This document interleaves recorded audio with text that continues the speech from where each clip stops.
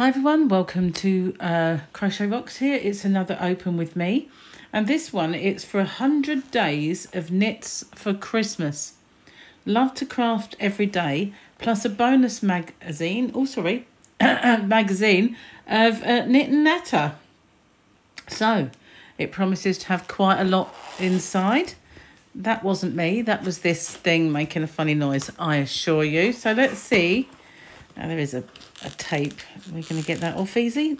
No. It's very, very stiff, that. It's, um, I think it's designed so that, ah, there you go, that people can't steal the magazine in the shops. Anyway, if you haven't already, don't forget to hit the subscribe button and the notification bell, and hopefully you'll be informed when new videos pop up. Just move my drink so I don't spill it. So we've got um, a bonus magazine worth £7.50 um, this is issue 17, so they've done these before. And these are all different things you can make in here. There are 50 patterns, Yule, love, gifts for all, Christmas jumpers and socks, winter woolies, stockings and decks, festive toys, novelty hats and earrings, cosy homewares, pet knits and more.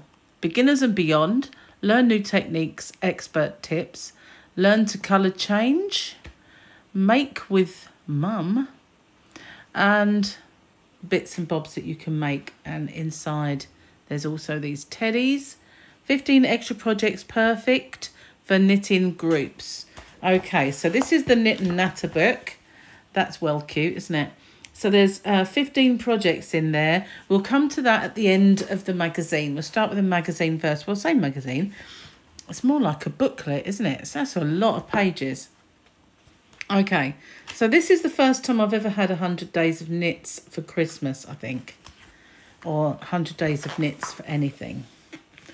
Okay, so this Knit Pro kit here, that is beautiful. I was toying with the idea of getting some of these ones that they have for uh, special occasions um, for my shop, which is hobbyrocks.co.uk.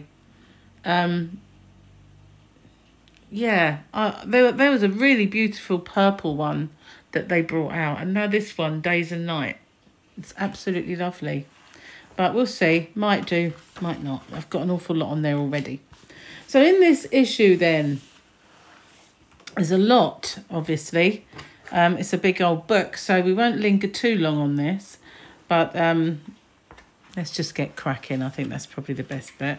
And Santa Claus toy. So we can knit Santa. He's cute. Like that. I like the fact that his beard isn't a load of just fluff. Sometimes they are. Stockings with a pom-pom. Now that's nice. It's an unusual one. It's got actually a, a pattern. I think personally I might have been tempted to do that the other way around so that it would have white here and then red. Only because it will get a bit grubby over time. Because after all, Christmas stockings are for kids. You can always do it green as well, green and red. So we've got a robin wreath. He is a very cute robin, I have to say. I'm sorry if it's a bit dark in here today. It's raining outside. You could probably hear it um, coming down. We've got a cafetiere set. So um, is this just for a cup? I think that is a cafetiere. Don't show it very well, but it does look like that might be for the cafetiere. And then we've got cup covers little cozies, an elf hat, which is extremely cute, and a hottie cozy. So hot water bottle cover there. I've made a few of those in my time. One for my channel, but several that I've made. And we've got a cozy cushion. Now that is, that's nice. I'm not a fan though when I sit on a cushion of things that are not making it flat, if you know what I mean. Different if it's a pattern, but Hmm. So I like a chart because you can convert that. You don't have to use it for knitting if you don't want to. But that is actually a nice pullover. It's called Reindeer Sweater. It's nice. doggy stocking. Make a Christmas stocking for your doggy. Now that is pretty cute. I like that. that is nice. You can always do that for your kids if they like dogs. Just saying. And a doggy jumper with a Fair Isle pattern. Festive decorations. Now, this is cute. I like these. If you've got one of these kind of trees that look like bare branches. I have a small one with just lights. Well, I did have. I think it broke actually. So I might. I think we might have another one. I'm not sure if we bought one to replace it. Wasn't as good as the one I had. The one I had looked like this with white lights. Very nice, but it had a ridiculously long cable and it broke. So we've got holly earrings. And there's also kind of, is that bunting? I don't really know. looks a bit small, but it is some kind of garland that you can knit as well. We've got Fair Isle set. So it's a hat that's a square. And a pair of fingerless gloves. Quite nice. Striped tea cosy. So we've got a couple of tea cozies going on. The other one with the sunflowers does look rather special. But this one is a stripy one, just pulled in at the top there. Not bad. Elf friends. So we've got some little cute elves to make. Totally crackers. I've never actually made Christmas crackers. I've made my own Christmas crackers with card and my own snap and put toys and presents in. Well, mostly things for me and Gary when we've been on our own, but um, or one, when we had the odd visitor. But um, I can remember doing this kind of fluted edge here with my mum. Because it's just made by making a hole and then folding it over. Star sweater, I like this. It's like a bobble. You could crochet something very similar to that because it's a chunky knit. I like that. That's quite sweet. And there's the chart. Anyway, chalk covers. Would they be around long enough to cover them up? Mm, just saying. but they are kind of cute. If you were giving people, say, some Ferrero Rocher, you could turn it into like a... That's, that's sweet. I like that. A floral cushion with a poinsettia. The first three issues of Let's Knit for £10 when you subscribe to Let's Knit magazine. Wow. So there's the uh, in, info if you want to do that. And there's more inspiration magazines there. Oh, this is super. do love the penguin jumper and that would suit Harley down to the ground because Paul, my eldest son, is crazy about penguins. And he would love that for, for Harley because he's a penguin nut. That's cute. Would I have enough time, I think, to make that? I'm not sure. A tartan scarf.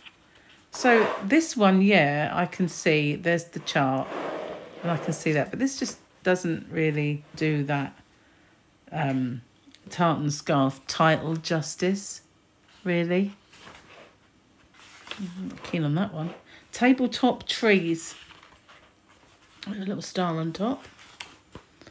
Sandy, Scandi gnome. Scandi gnome. Scandinavian, is that? Cute. Festive slippers, they're nice. They're only nice though if you can put something rubberized on the bottom because otherwise they're a bit slippy. Crimbo socks. Mm, they're nice. Scandi sweater. We've gone very Nordic all of a sudden. That's quite nice. Discover Designer Knit-alongs. And a reindeer. He is very nice. I like him. I like his face. He looks very smug. Little smug looking reindeer. Bottle bag. Now that's an interesting one to do for presents, isn't it? If you're going to give somebody a bottle of uh, wine or something for Christmas, instead of getting a bottle bag made out of cardboard, that'd actually be quite cool to actually make a bag. Mmm. Thought of that before. Christmas baubles. I'd have to do mine sparkly. I'm a bit of a sparkly nut for Christmas. A reindeer cushion. Now, he's kind of cute. Little Rudolph. He's got a rainbow back. He's nice. I like it. I like that one. Snow globe. Making snow globes. Of course, they don't snow. you can't shake him. This is Tommy the da- da- Dachshund.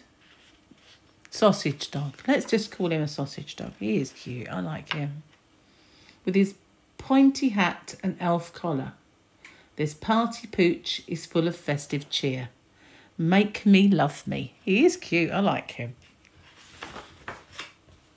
Correcting common mistakes. Now that's quite cool.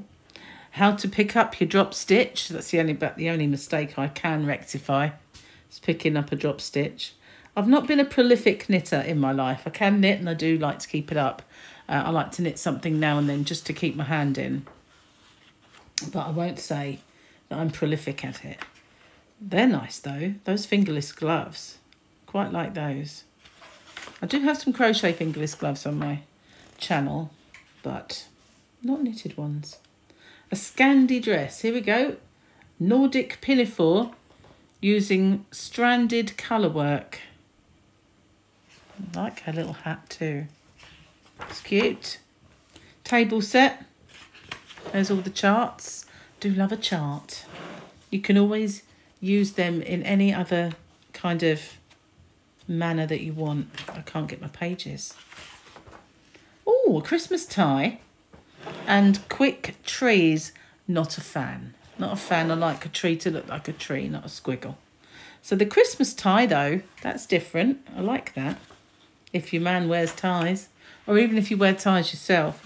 Why we have to be sexist about ties. Webster the Penguin, again, Paul would love that. Having said that, my son Paul has far too many penguins in his life. He wouldn't believe so. Jolly Booties, they're cute. Super cute. We're getting to the end. Christmas teddies. We're going to get to the how to do bits. And a Santa hat. I think personally, you got fur here, it should be fur there. But, you know, that's just my opinion. But that's nice. Ribbed. It's quite a good one.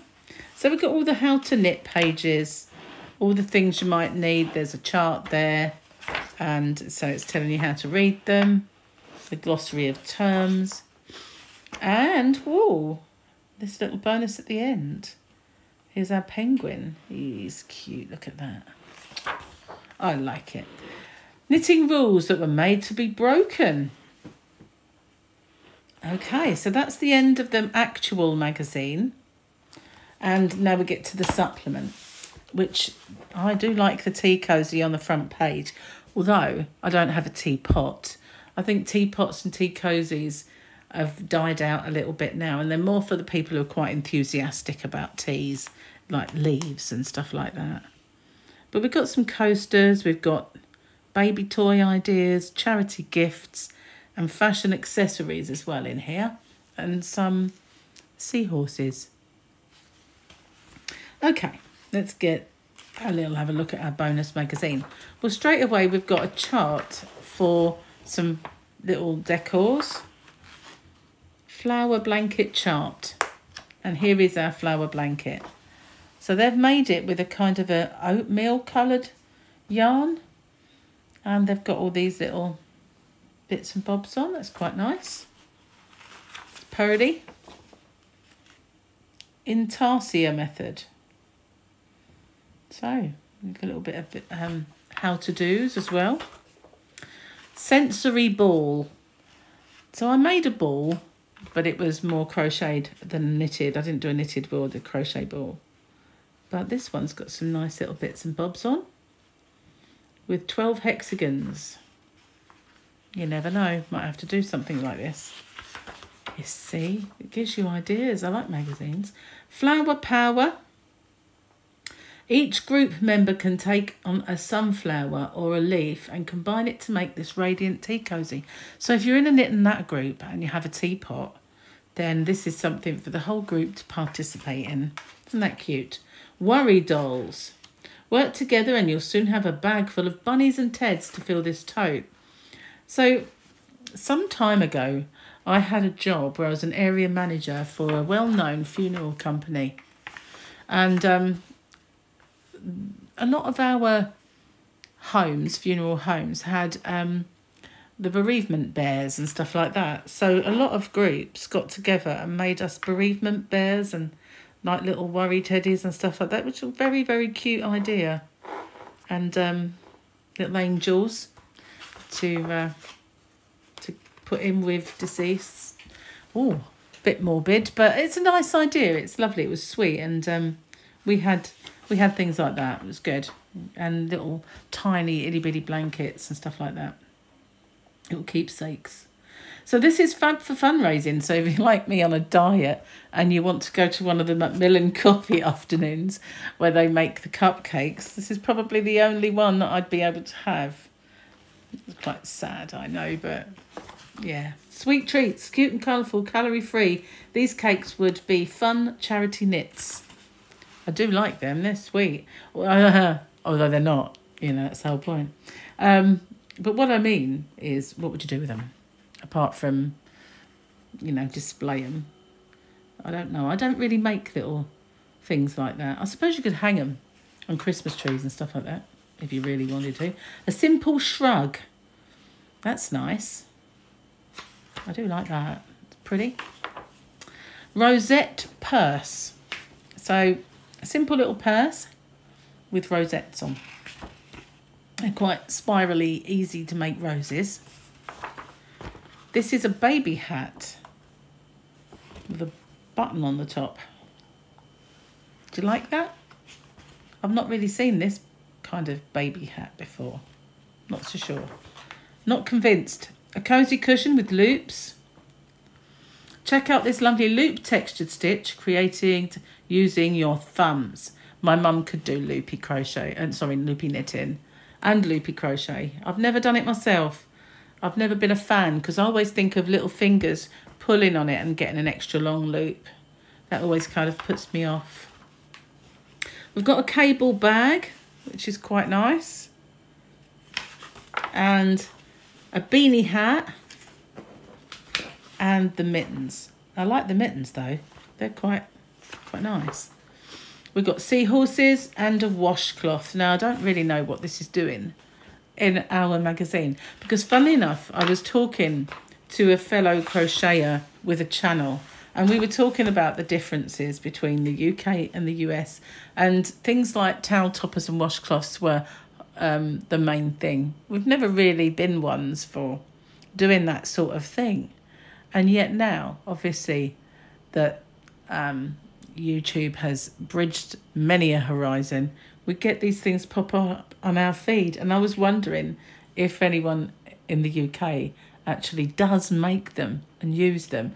So maybe if you do, you can let me know in the comments section. So tell me what do you like about this? Do you like the magazine? Do you like the, the supplement? What do you like about it? Uh, I'm not sure if I'm at some point going to do this one as a giveaway. We'll have to see. So thanks for watching. Uh, stay safe, everyone. Take care. Let me know what you like and what you don't like. And uh, I'll see you on the next one. Bye for now.